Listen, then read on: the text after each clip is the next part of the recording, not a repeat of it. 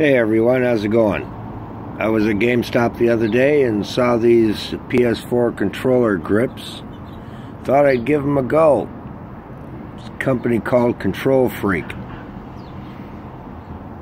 Checked them out, they're 15 bucks. They seem to go on pretty easy and they contour the controller pretty well.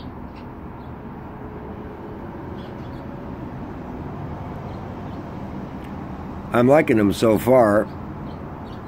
Have any of you uh, had any experience with uh, KontrolFreek gear?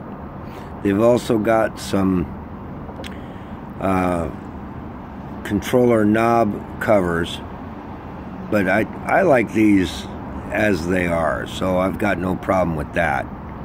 The grips I thought were pretty cool because uh, controllers have always seemed kind of slippery in my hands.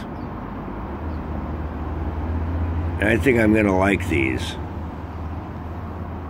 What do you think? They feel pretty good. They go on easy. And for 15 bucks, hey, it's worth checking out. Have you tried them?